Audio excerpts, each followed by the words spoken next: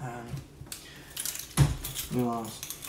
I said we lost. I mean, it's just no, no one takes it seriously. Like, do these guys want to win? Get this, caught a couple guys cracking open a beer in the bottom of the fourth. Like, we weren't in the middle of a one-run game. I guess I'm the only person with competitive drive on this team. JT went 0 for 4 and laughed about it afterward. I just want to compete. I'm just, I'm sorry. I just, I must have missed the part where losing is funny now. I mean, he's not even trying. He's not even getting in his stance. Babe, babe, look at this. Look at this.